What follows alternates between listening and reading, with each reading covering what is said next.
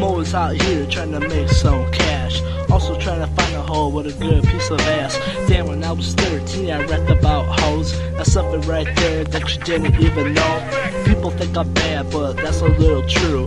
Oh, just jealous cause I got my own crew. This is the way I rap. I know I'm not that great, but I sold all my mixtapes down in Michigan State.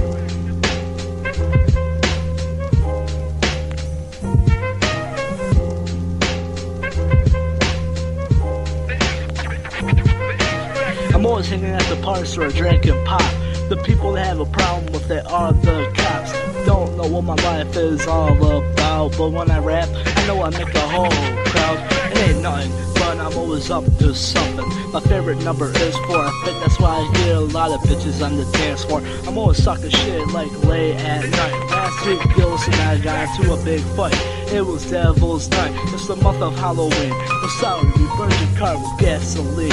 But that's what happens when you mess with the underground family.